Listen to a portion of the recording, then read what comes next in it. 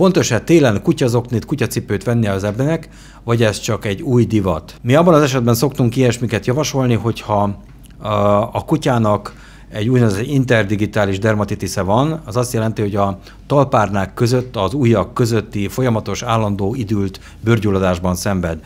Francia buldognál, angol buldognál ez egy jellemző megbetegedés. Olyan esetben, ha ez éppen lobos stádiumban van, és sétáltatnunk kell olyan területen, ahol sóznak, tél van, latyak van, és ilyen sós lében járatjuk a kutyát, az, az nagyon erőteljesen rontja a, a gyulladás állapotát. Ilyen esetben azt szoktuk javasolni, hogy vagy cipő zokni viselése, vagy ha ezt nem akarják, akkor minden esetben, amikor a sétáltatásból hazaérnek, akkor állítsák be a tus alá, alaposan mossák ki a sóslét a, az ujjak közül. Azoknál is fontos lehet, akik nem hajlandó kivágni a, a szőrt a talpárnák, illetve az ujjak közül.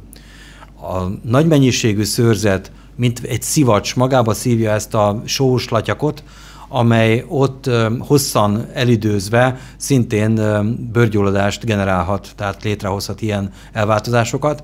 Ha kivágjuk a szőrt, vagy legalábbis gyérítjük, rövidítjük a szőrt, akkor ez nem fogja, nem fogja tudni fölszívni és ott helyben tartani ezt a latyakos sós folyadékot, és ez egy megelőzésként is szolgálhat.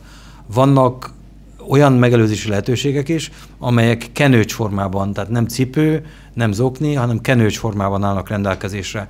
Talpkenőcsként, vagy talpárna kenőcsként lehet ilyeneket a, a, kapni az állatgyógyászati patikákban.